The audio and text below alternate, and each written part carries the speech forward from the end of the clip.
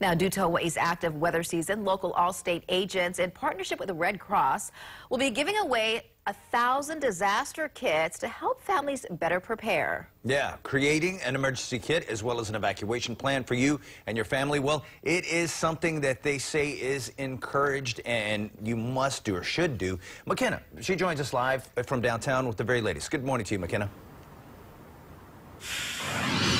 Good morning, Jai and Christine. You know, we've been telling you at home about what's been happening over on Hawaii Island, and we're hearing now Leilani Estates, they can go back in, residents can, to go get important documents, to go get things um, before their evacuation. And now we want to encourage you all, along with Allstate and the American Red Cross, to do the same for yourself. You know, June through November, we're just approaching hurricane season. We've just had historic flooding, as well as now the eruptions in Kilauea. What can you do to prepare? And this is Bradley this morning. What are some things we can tell homeowners to have ready for situations like this? Yeah, you always want to have a plan with your family so at least you're better prepared when these disasters hit.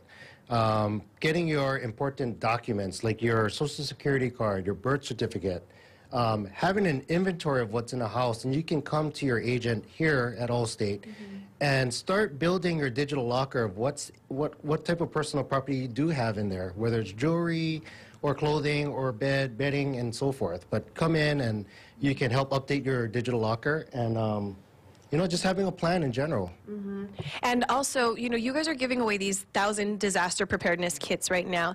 We went over it a little bit earlier, but let's recap for people just tuning in of what they can come and pick up from you here. Yeah, so we have a mask. Um, in, in, this circumstance that we're going through today, you know, the mask could help with the sulfur. Um, a whistle, if there's an earthquake and you're yelling for help, but you really can't yell, you can blow the whistle. Um, if there's any debris on you.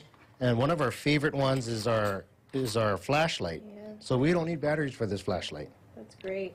Now, something that uh, we can encourage also people to do is this thing called a water bob. This is the first time I've actually seen one of these. Can you explain to viewers what exactly this is? Yeah, so in our kit we have a, uh, a water a water pouch, but uh, what we've added to our family plan was this water bob. It holds 100 gallons of water, uh, and it has a pump to siphon out clean water if it's ever needed for drinking or cooking.